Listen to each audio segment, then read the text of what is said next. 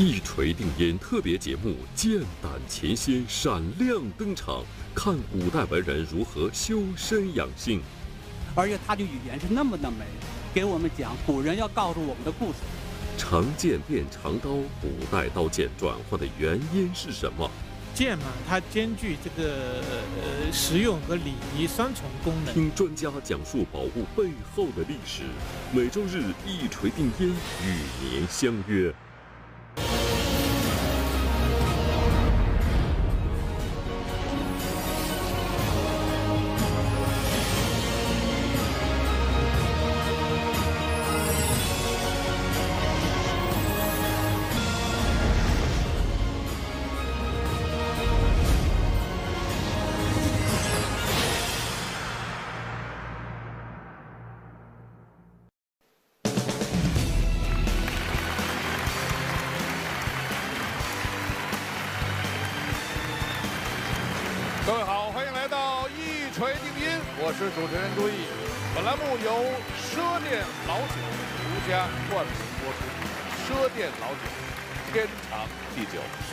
今天坐镇现场的两位专家老师，我们欢迎中国艺术研究院工艺美术研究所所长邱春林先生，欢迎。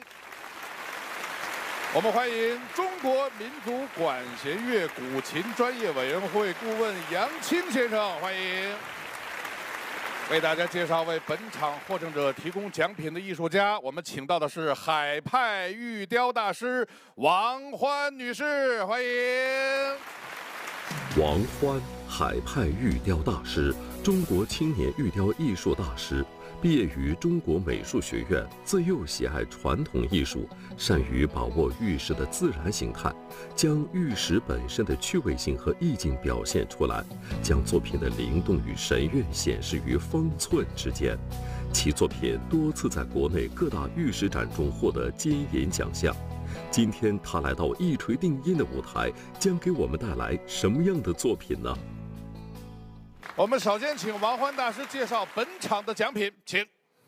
呃，大家好，今天我带来的奖品是一件新疆和田玉籽料的三色巧雕。啊、我雕的这个题材呢是姜子牙在渭水河畔等待的一个画面，在他遇到周文王之前，已经经历了七十多年的蛰伏，然后这样一份韧性和耐心，希望能带给今天的有缘人。好，谢谢，谢谢您。我们的六位夺宝人都已经这个精神抖擞，准备来争夺今天最终的宝物。欢迎六位，欢迎。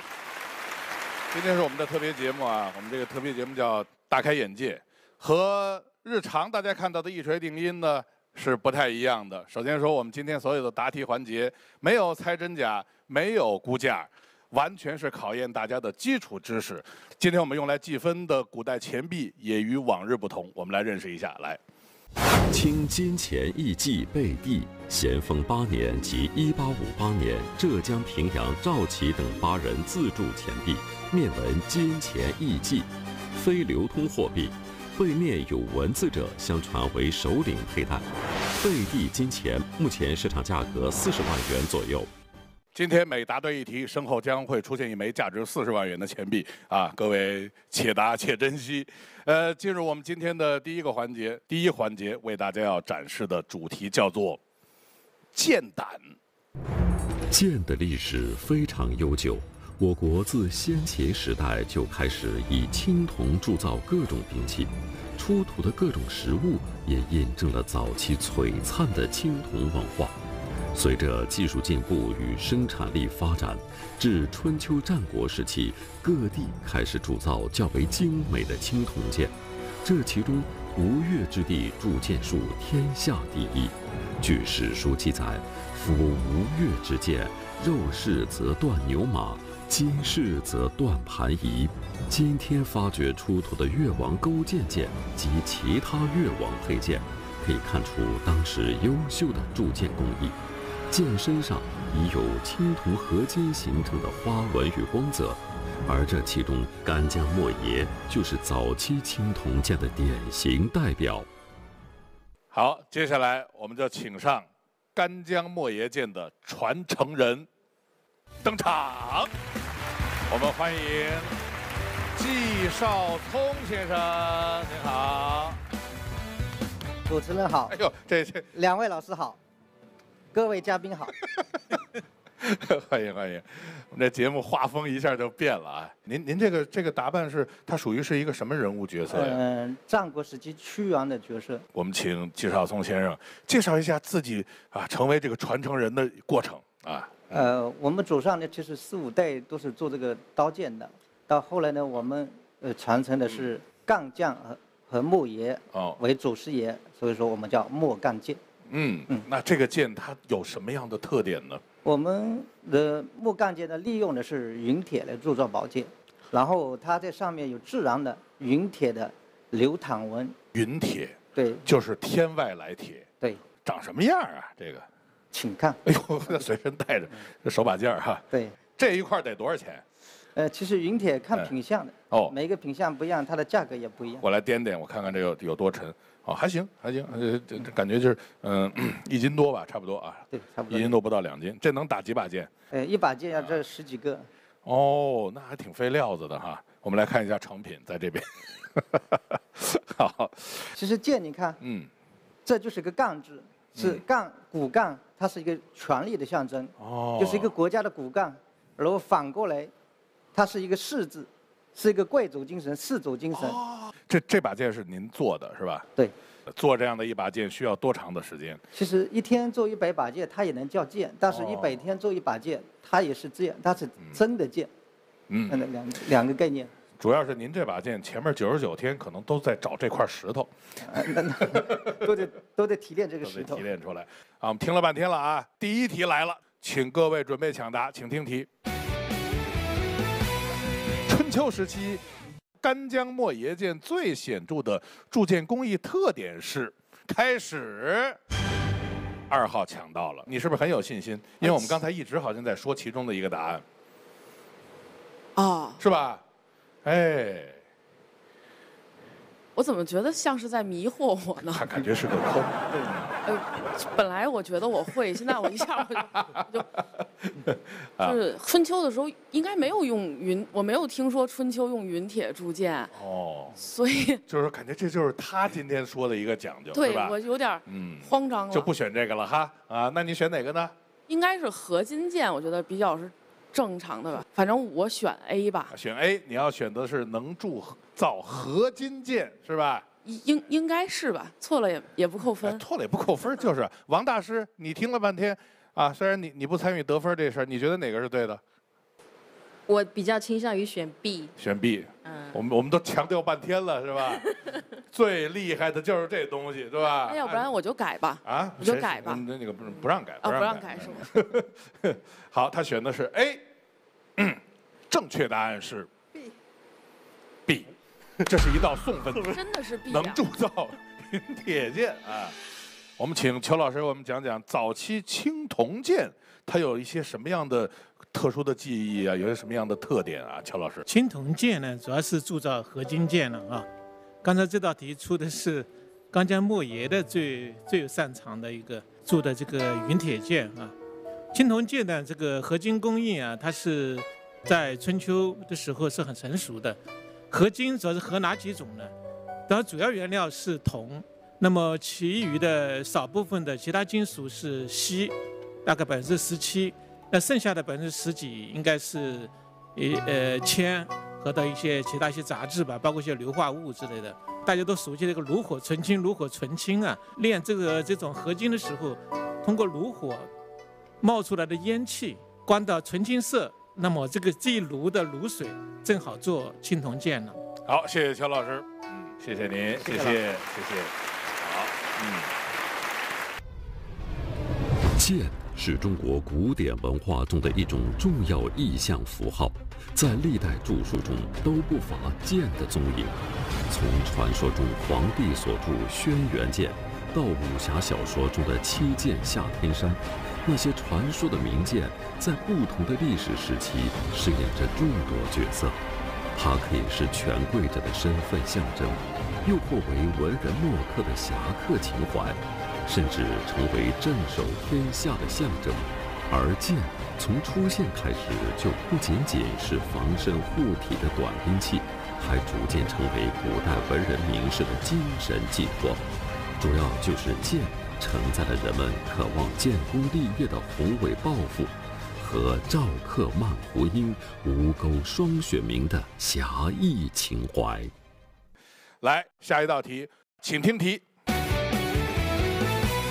据记载，春秋时期最著名的铸剑师欧冶子，奉越王的命令，用毕生精力铸造了三长两短的五把宝剑。这五把宝剑并称为越五剑。下列哪把宝剑不在这五剑之列？开始，一号抢到呃，我觉得应该是鱼肠。啊！鱼肠，它跟那那几把为什么不一样呢？呃，那几把剑是因为铸剑的时候它就有这个名字，哦就是说铸剑师的时候，他这个剑铸出来以后，相当于出生时候就已经漆好了。就刻上字儿了。哎，鱼肠剑是因为它跟那一段就是历史上著名的刺杀有关系。哦，所以呢，我觉得那把剑的命名呢，并不是因为先有了鱼肠，后有了刺杀。因为它是藏在那里边儿，哎所以它最后大家称这把剑为鱼肠剑。我理解应该是这样的。啊，有道理。他认为是一鱼肠，正确答案是龙渊，有鱼肠啊。我们这个音乐的感觉就是要扣你一分了。我们特别节目不扣分啊，恭喜你，恭喜你。嗯，好，这道题目我们请邱老师给我们讲解一下，请。龙渊呢是，呃，欧冶子啊，是奉这个吴这个吴王之命铸造的三把剑之一，是不是奉越王之命？不是这一套是吧？对对，不是哎这一不是一套，是另外一件事情啊。嗯呃，在历史上曾经有关于鱼肠剑的拓片，肌理啊，完全是像鱼的肠子那种、那种、那种旁绕迂回的这种纹理。这说明在铸造的时候，可能经过多少次的反复折叠、锻打以后，形成了一种自然纹理。哦，那这比大马士革那个早好多年啊。对，可能后面这种记载可能更准确一点。嗯，所以说就它鱼肠之得名吧。嗯，他这个铸剑的时候，并没想到是搞刺杀，是吧？他只是表明他的一个工艺。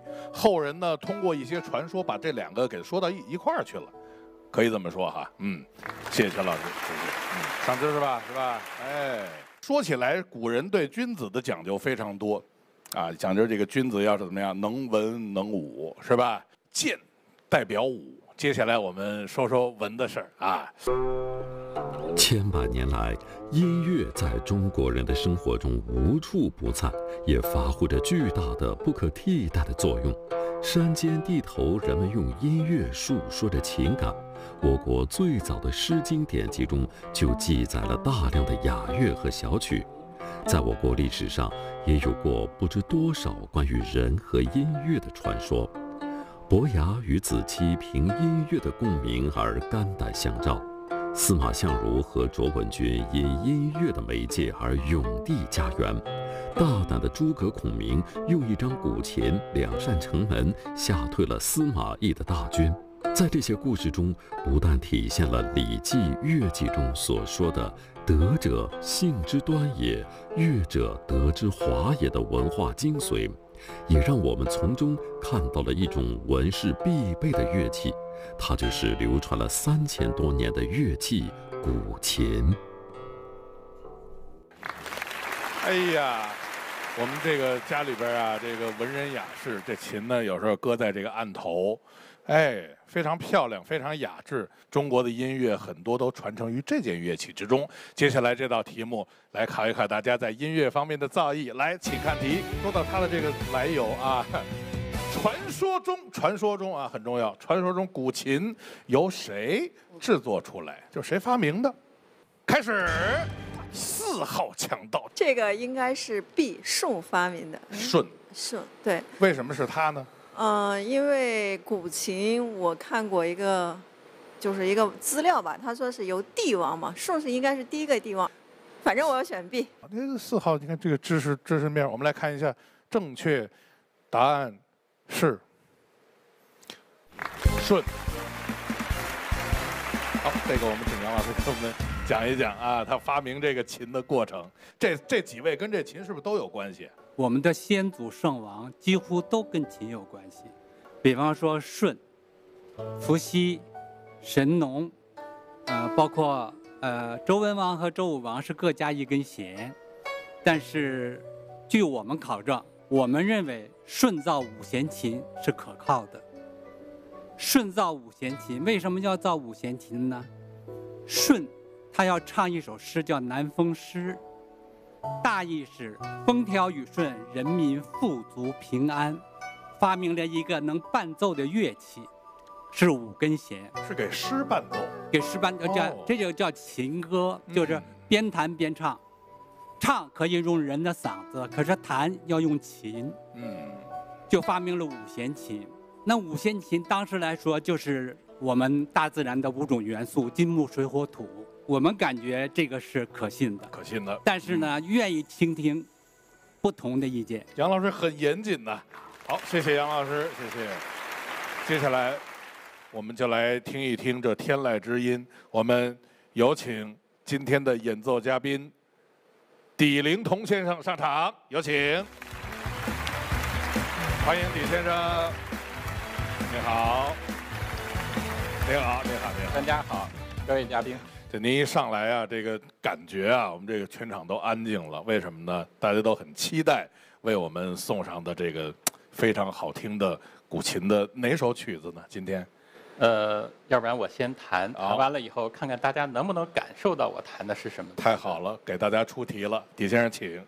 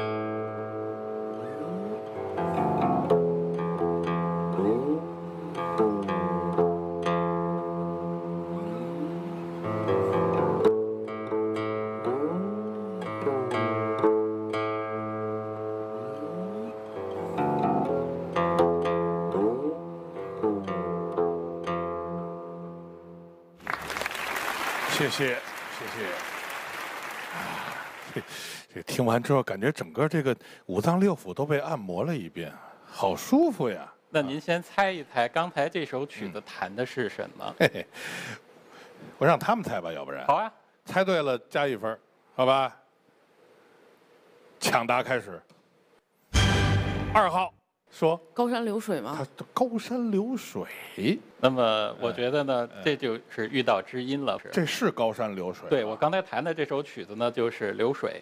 来给二号加一分儿。嗯，为什么刚才就是您说呃高山流水？那么我弹的是流水，到底算不算对呢？其实这里面是这样的。哎，呃，最早的时候呢，高山和流水它是同一首曲子。哦。到了唐代的时候呢，它分成了高山和流水。为什么要给拆开呢？分上下集呢？可能就是大家觉得不过瘾、哦、啊，因为这个弹一遍高山，我再弹一遍流水，那么还有呢，就是可以有两个人来弹，那么形成了一个知音文化。这也就是为什么，嗯，呃，我们中国人讲究说是能够听得懂高山流水，那么就是能够遇到了你的知音。知音啊，高山流水的典故其实大家都很熟悉，是吧？对，是的。这说说起来啊，这个中国音乐啊，它古典的音乐跟西洋音乐啊，真的是区别非常大。对，有很多的独特之处。这个我们想请教一下杨青先生。嗯，李灵彤先生呢，我介绍一下，这个是一个文人琴人，所以他弹的这个流水一点火气都没有，非常的温润。孔子提出六艺，提出诗书礼乐易春秋。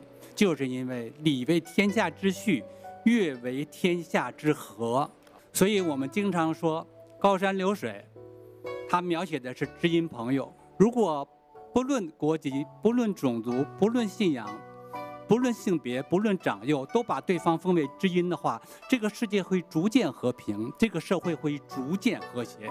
所以我认为知音情节对于现在来说同样重要。从现在开始，从我们。个人做起，我们希望我们的知音遍天下。哎呀，说的太好了，谢谢，谢谢杨老师。我们一块来看看下一题啊，看看下一题，来，请看。我作为一个湖北人，我今天怎么那么高兴呢？这说的全是我们那儿的事儿啊！一九七八年，曾侯乙墓出土了大量的乐器，其中就有编钟啊，不是有古琴。我这老老老想起来，我我我我这才知道，其中有古琴啊。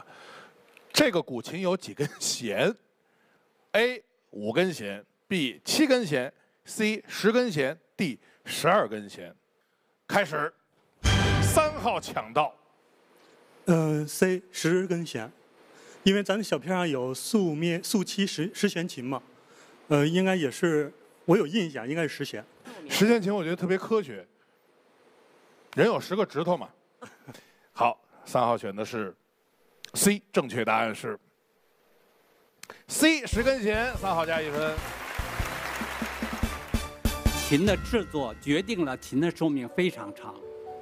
我们现在的出土文物最早的是两千七百年前的，他把古人想跟我们说的话，像录音机一样，把古人的话都跟我们来叙述出来，而且他的语言是那么的美，给我们讲古人要告诉我们的故事。中华民族，它的魂灵是梅花，我们有两条母亲河，长江跟黄河，我们有脊梁，我们有五岳，我们有泰山，我们是中华民族，我们有几千年的辉煌的文明史。古人经常把他的志向，甚至几百个字，都刻在一件琴上，所以我们才有九霄环佩，所以我们才有大圣音，所以我们才有沧海老龙吟这种千代的这种骨气来传到现在。这就是我们秦人的一个最好的朋友。谢谢，嗯，谢谢老师。好了，接下来我们。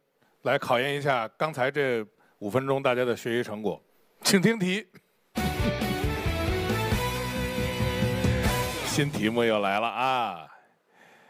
古琴上标注音域的琴徽出现在什么时期？我们先解释一下哪个是琴徽呀？我们看到这个琴弦前面这有一排小圆点儿，这个就是琴徽。哎，这个琴徽呢，它还是起到一个参考的一个作用。好，说到这儿，大家应该知道这道题它的重要性在哪儿了。我们有三个答案：春秋时期、魏晋时期、隋唐时期。开始，一号抢到。呃，我觉得是 B，魏晋时期。就是魏晋时期，它就成熟了，是吧？对。嗯，我们来看正确答案是。魏晋时期，一号加一分。他说那个魏晋时期是竹林七贤这点事儿啊，他们也抚琴吗？是的，啊，竹林七贤里面有两位都是著名的古琴家。七七位里边有俩，对，是哪两位呢？呃，一个呢是大家都很熟悉的嵇康，嵇康就是《广陵散》，那是嵇康的作品。那是嵇康。竹林七贤当中呢，还有一位呢也是古琴家，嗯，就是我们说的呢。就是阮籍，你像他在他的这个咏怀诗当中就曾经写过，就是叫，呃，夜中不能寐，呃，坐起弹鸣琴，就是晚上睡不着觉了，我起来我得弹琴。哦，所以他是一个古琴的发烧友。嗯，那么这是他的一个爱好，另外一个爱好呢，就是喜欢喝酒，所以呢，阮籍就写了一首特别著名的古琴曲。哦。就叫《酒狂》，酒狂，这个曲子在咱们这个琴友中间，这个曲子应该是非常有名。这首曲子的呃流行程度呢，嗯，可以说是一个呃，基本上学古琴，嗯，大家都会去学到的一个曲子。今天我们有没有幸领略一下这首《酒狂》？好，那我就试试来给大家演奏一下。好，来，掌声欢迎，请，嗯。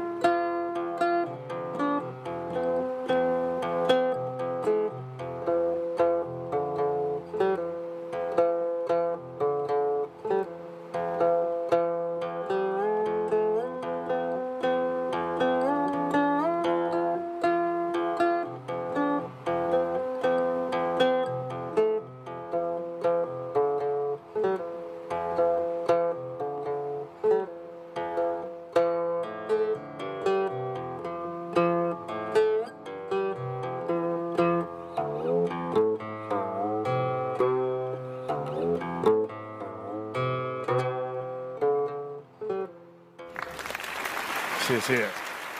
这个这个酒喝完了，大家以为喝完了之后就有点这个手舞足蹈了，还不是是吧？嗯，古琴的声音，大家听我们的底先生弹琴，它是很温润的，它并不是非常的犀利，非常的明亮，非常的华美，恰恰像一块美玉，而不像宝石那么透明。我们管这个叫文人的朦胧美、抽象美。所以我就说，我们的音乐才能，我们在古代，我们的先人他们有这种音乐才华，确实到现在。我们都觉得不可思议，所以那个时候正好是我们中华民族的文化逐渐复兴，汉唐时期，这是了不起的伟大时代。好，谢谢，谢谢杨老师。最早的古琴谱是什么样的？如今还能演奏吗？这个文字谱，它得到用一行到一行半的字来形容这么一个音。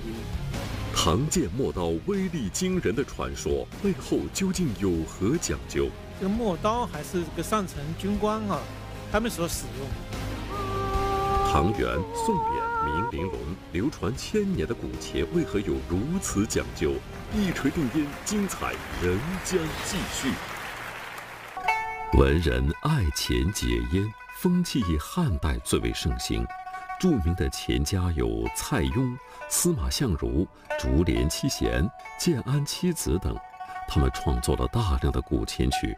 例如著名的《广陵散》，《广陵散》又名《广陵止息》，是我国著名的古琴曲。竹帘七贤之一的嵇康，以善弹此曲闻名，后因得罪钟会被司马昭处死，并慨然长叹：“广陵散于今绝矣。”在封建时期，虽然上至君王，下至民间都爱好古琴。但是，由于士族门阀对文人的限制，很多文人创作的琴谱无法流传，因此很多古琴曲只见书有其名，无法复原演奏。这说着就把我们带回到那个时代了啊！物质非常的富足，精神呢又非常的充实，才会让礼乐得到前所未有的发展，达到一个后人。也可能难以企及的高峰，啊，是这样的。好，我们学了半天了，要该考试了。来看下一道题，来，请看。我国现存的最早实物古琴文字谱是什么时期的？A. 汉代 B. 南北朝 C. 唐代 D. 宋代。开始。五号抢到。汉代。汉代。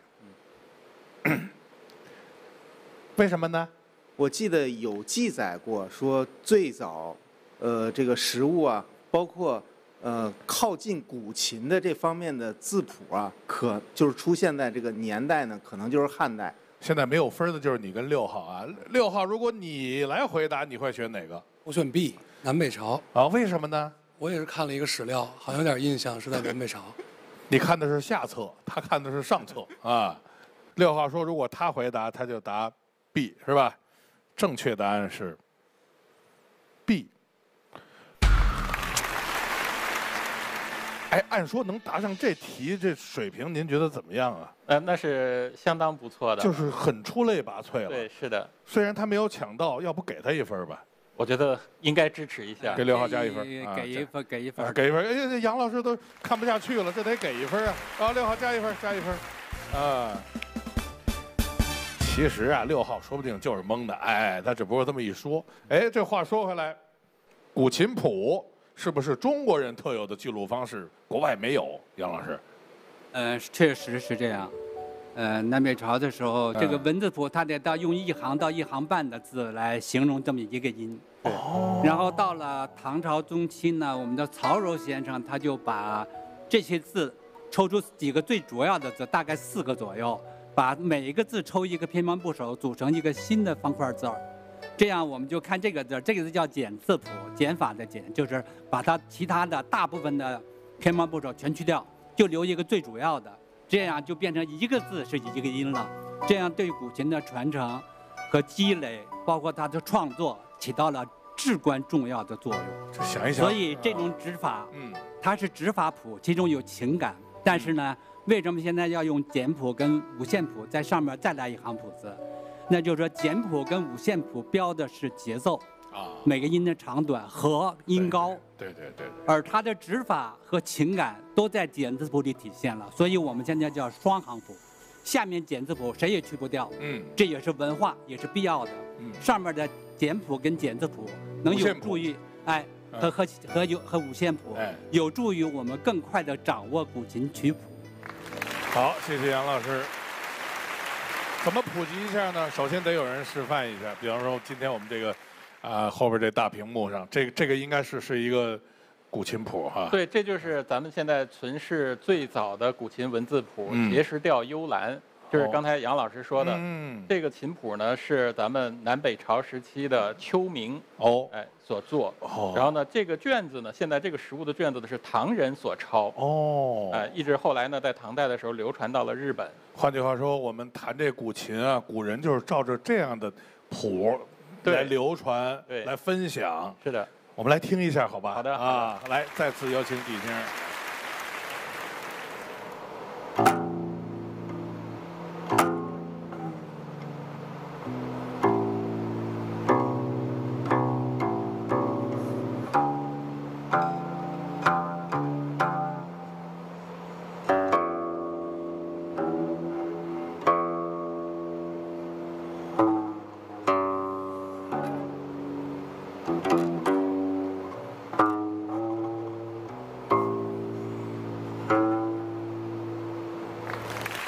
非常感谢李先生今天给我们做的精彩的演示讲解。呃，以后有机会的话，我我希望能够经常请您到我们的节目里来啊！谢谢，谢谢您，谢谢。嗯，好，谢谢。哎呀，话说回来，这个汉代啊是一个很特殊的时期，古琴有了非常长足的发展，但是。说完了，咱们这个文人喜欢的古琴，我要说这个武将喜欢的剑。到汉代的时候，它这个发展出现了一点变化，这个剑呢，慢慢在实战的战场上用的越来越少了。这是什么原因呢？我们来看一个短片。来，在中国悠久的历史长河中，剑器饰演着众多角色。在春秋战国以及前朝统一六国过程中，剑是使用率最高的短兵器，可以说是当之无愧的短兵器之王。但是仅仅十多年后，汉太祖刘邦就被围困在白登山，遭到大败，被匈奴围困了七天七夜。这次战败也让以步兵为主的汉军认识到，对战马上骑兵时剑的局限性和不足之处。到了汉代中期，汉桓手刀逐渐取代了剑，成为军队的主要装备。好，我们学了半天了，又该考试了。来看下一道题，来，请看。这又说回剑了啊！汉代剑主要为铁制，而且制作时有统一标准。这这这这题其实也是送分题啊，各位。那么汉剑的长度一般不超过多少呢？开始。二号抢到了，呃，B，一点一米是吧？对。你从哪儿听说的这个事儿？从您面前摆着的，我吸取了上一题的教训。你离这么远，你就能判断出这个剑没有超过一点一米吗？呃，就如果说标准长度，就是算上那个剑尾在那个剑柄中间。你说只算刃儿是吧？不不不，就是整体都算上。从头到尾。对。啊，一米一是吧？你选的是 B，正确答案是一点五米。其实我就想说这个问题，这明明到一一点五米了啊，一点五米。当然这肯定有它的讲究。乔老师，汉剑的长度呢？汉剑呢，它分短剑和长剑啊。呃，长剑嘛，它是按照汉字的这种呃长呃度量的嘛，它是大概一点一的样子，最长吧。那换算成今天的这个，呃，应该就是一点一五，呃，一点五的样子。短剑呢，一般在汉字的长度在五十到七十公分吧，也就相当于现在的八九十。哦，嗯，好，谢谢。那么接下来我们再次请上嘉宾带剑上场，有请邝百合先生为我们展示汉剑。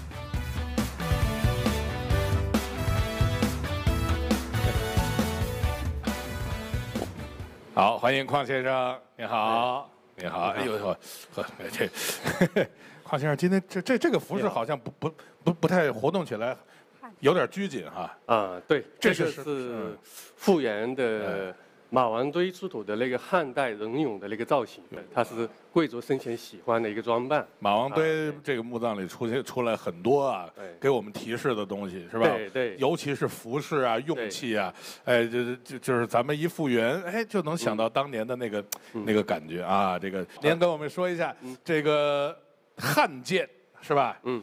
嗯，这是这个这个是，这是我们团队制作的汉剑。我们的战国、汉代啊。一直到唐代都是这个尚武风气嗯。流行配件，就我们的战汉一直到近代的时候都是这样佩戴，一直都是这样哎。的。桌子上这把更长的没地方放的，哎，这就是叫什么？环手刀，哎。环手刀，我们拿起来看一下。它就下边有一个环，然后这个环干嘛用的呢？嗯，它就上面拴一绳子。这个骑兵，尤其骑兵的时候骑马颠簸，这个刀不小心脱手了以后呢，它不会掉地上去，还不用这个下马这个再把刀捡起来。哦把这个掉了以后，你看套在手腕上，就这样。哎，它它只要一这样一甩一抄，又到自己手上来了。说说起来，这个刀就算是这个剑的一种进化，可以这么说吗？呃，可以这么说，对，它就迅速的代替了剑在战场上。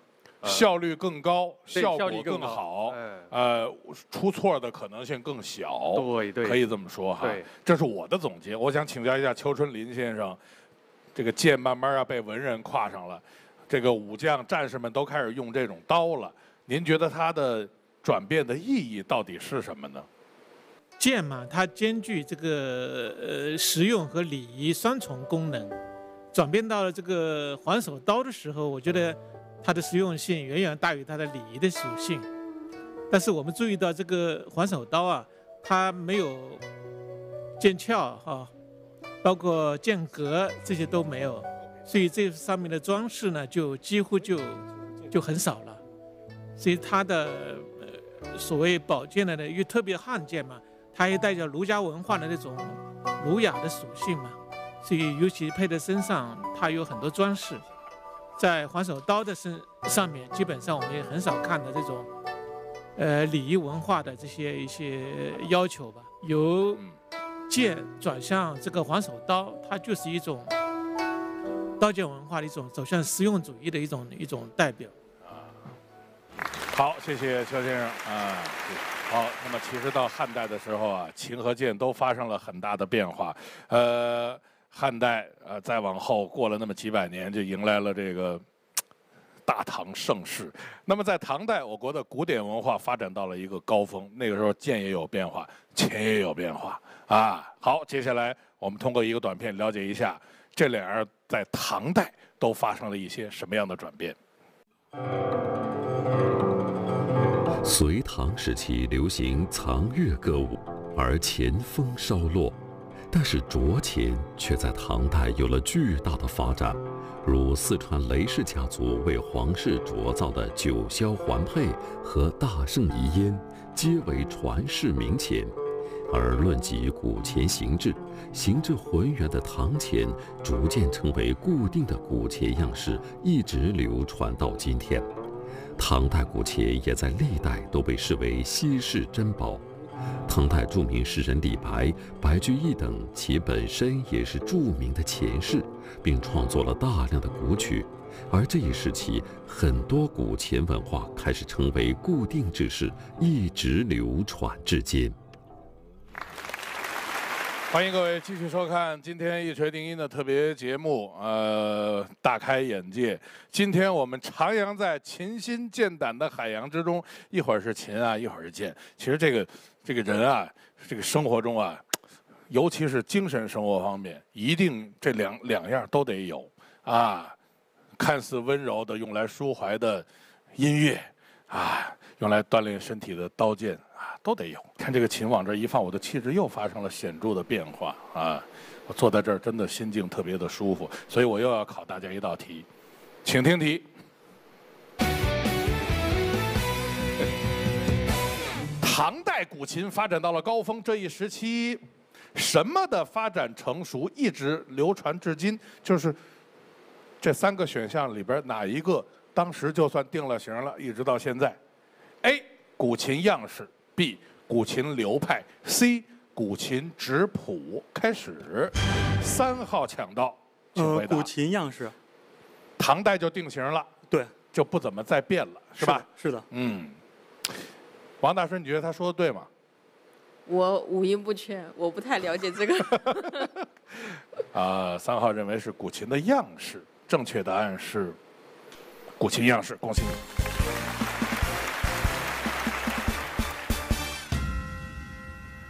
好，这个接下来我们又会请上一位演奏家，我们有请李正音上台，有请，欢迎李正音小姐，你好，大家好，主持人好，你好，你好，你好，专家好。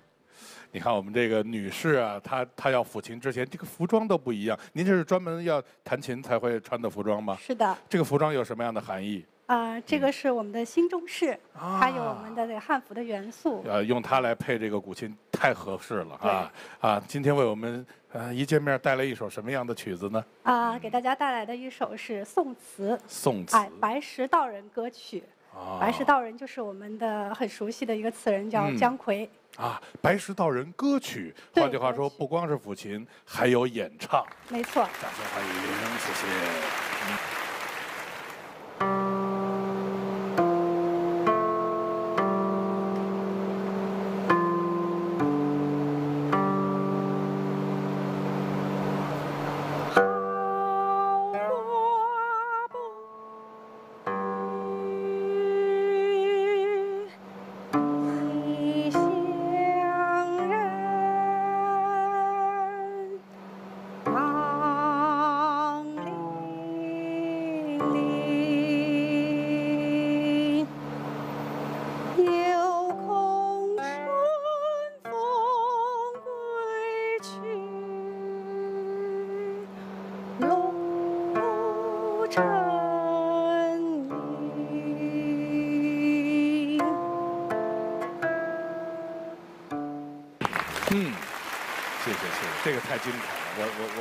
一直没这个概念，以为这就就得弹奏啊，但是还能够同时歌唱。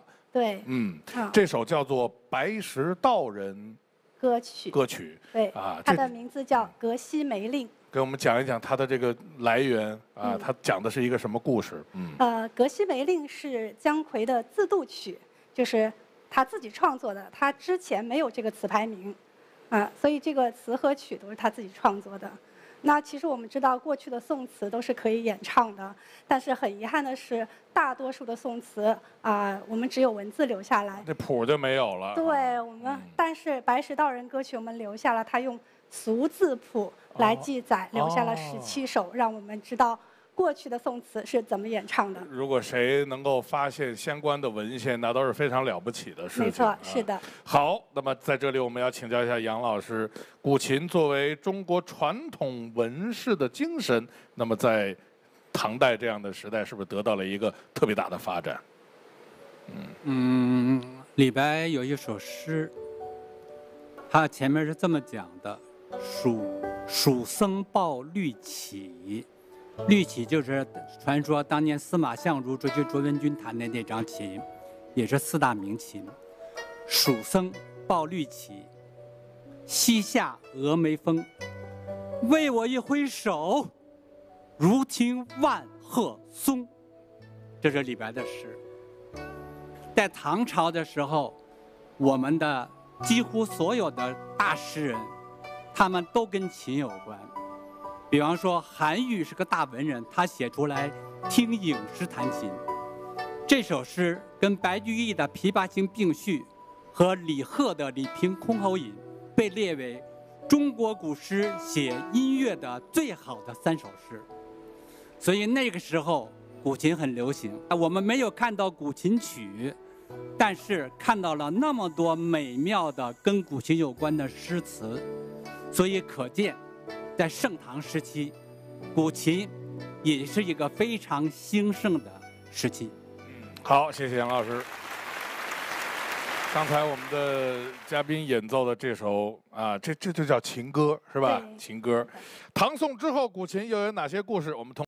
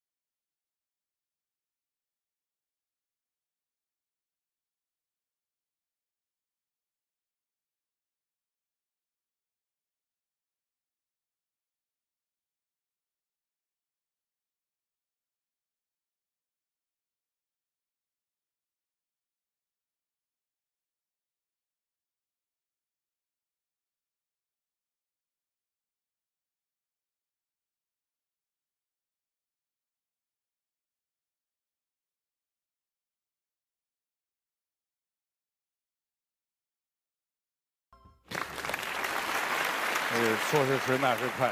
我们放这短片的时候，我们换了一把琴啊！哎呀，这把琴跟刚才那气质都不一样啊！对，这是这是，好像是个挺老的琴哈。是，你看这上面是有断纹。啊，这个有个是专业名词叫什么？断纹。断纹对啊。呃，因为它首先它有一个文物的价值。嗯。啊，然后。上面有没有款制？对，底下有这个，它这张琴叫冷石。冷石。对对。就是冷暖的冷暖啊，冷暖的冷，石头的石。哦，冷很冷的石头。对对对。我天哪，这个感觉是明朝快亡国的时候的东西哈。呃，崇祯崇祯元年。你看我，我就判断的很准。今天您在弹拨它的时候，也会感受到这这种气氛吗？对，其实我们在弹奏老琴的时候，我们其实不光是在听它的这个一个表面的声音，我们其实也在感受古人在抚这张琴的时候那种当时的那种气息。嗯，好，接下来抢大题，来，请听题。最早的琴桌出现在什么时期？这个题目很有意思。我我再问一下您啊，这琴不都得有琴桌吗？难道以以前还有一体的呀？以前是呃，在高灯、高桌、高凳出现之前，哦，呃，古人是席地而坐。哦，就搁腿上了。没错，搁腿上了，是所以后来才有桌子。它是什么时候有的呢？唐代、宋代、明代，开始。五号抢到了，宋代，宋代有的，你猜的吧？呃，有一幅画，宋徽呃宋徽宗在那儿弹琴啊赵佶在弹琴。嗯哼，我我我联想到应该是宋代啊，就是说宋代你看到了宋徽宗弹琴的画上，对，有一个呃，对，他有桌子了。对，是这样子的啊。这就能证明是宋代吗？你只能证明宋代有了，不能证明宋代宋代是最早的呀。大概率。反正刚才那道题也证明了，反正五号看的书吧就没有六号的那么准，是吧？那个画叫《听琴图》。哦，你也看过是吧？那个画，对对。你同意他那说法吗？哦，我同意。你也同意是吧？这次我也选 B。五号非常的努力，我们今天节目都快播完了，他还没有分儿啊，希望能给他带来好运。宋代，他选的是宋代，正确答案是宋代，五号加一分。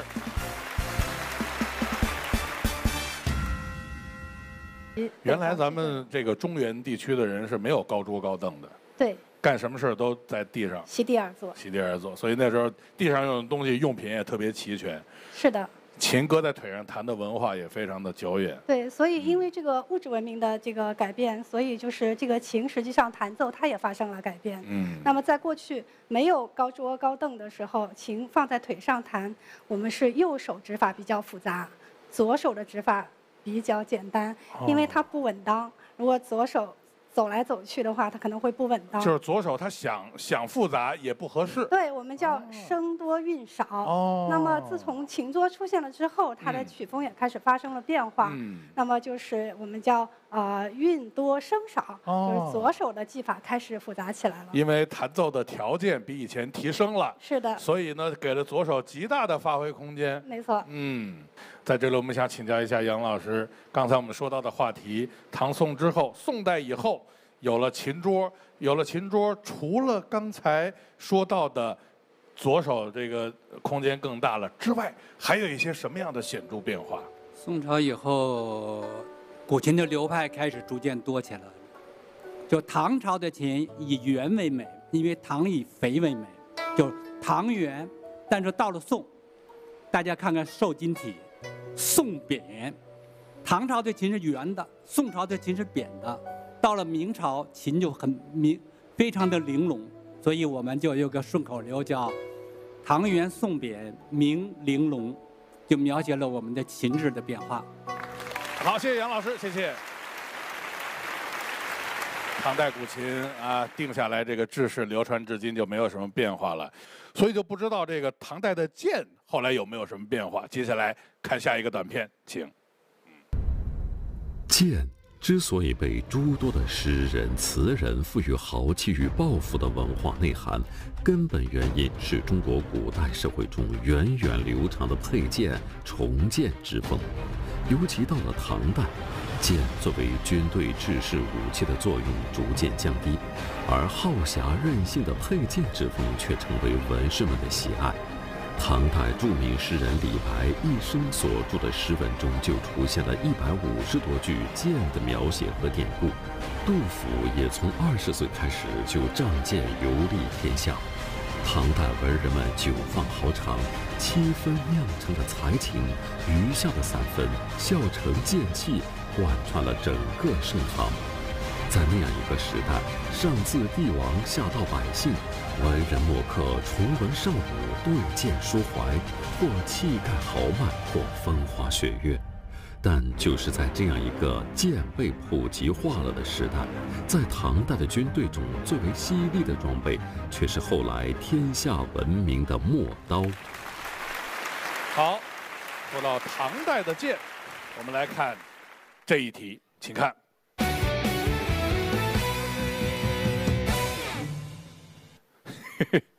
看这东西答这题啊！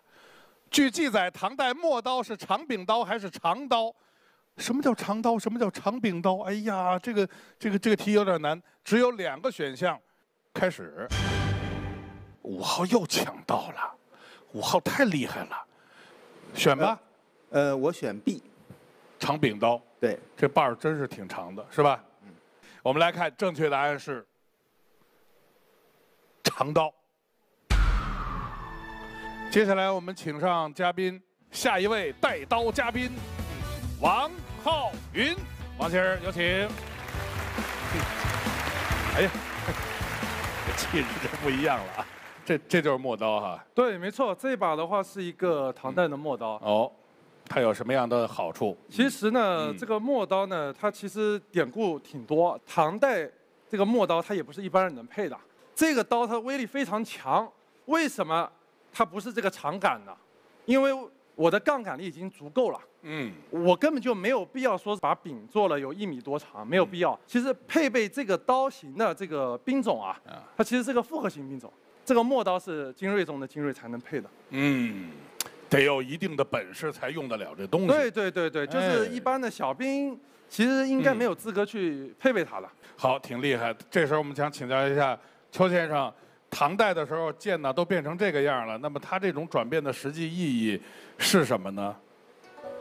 哎，这个呃，真的，刚才这位先生说的，这个陌刀还是这个上层军官啊，他们所使用的。嗯，真正在社会上流行的，就是文人墨客，包括一些一些贵族，他作为做礼仪性的，还是用的是剑，这个才是真正属于军队里实战用的。就是整个到了唐代，这种剑和刀啊，呃，分流的很鲜明了。好，谢谢，也感谢，嗯，谢谢邱先生。说到这儿，要告诉大家一个好消息，刚才可能大家都不知道，今天的题全问完了。我们来看一下大家的得分。三号力压群雄，获得本场胜利。我们有请三号上台领奖。有请海派玉雕大师王欢女士为他颁奖。好，请王大师亲自为他颁奖。好，恭喜三号，谢谢王大师，谢谢，谢谢，谢谢两位。好，请啊，嗯，今天我们从远古说起，说到唐代，联想到今朝，应该说今天我们在琴和剑中间都得到了很多的新的体会和感悟。在节目的最后，让我们来共同体验一下琴与剑共同飞翔的绝妙配合。呃，我们有请中国民族管弦乐古琴专业委员会顾问杨青老师亲自为我们抚琴，有请。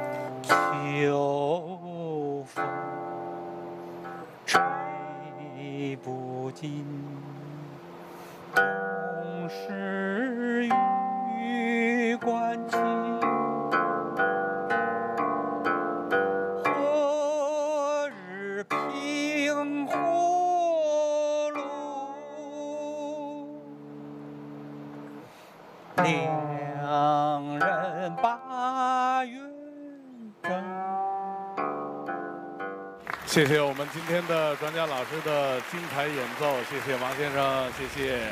我们也再次把掌声送给我们的专家老师，谢谢，谢谢，谢谢。也感谢今天所有夺宝人的见证和参与。这里是一锤定音特别节目《大开眼界》，我是朱毅，亲爱的朋友们，下周见，再见。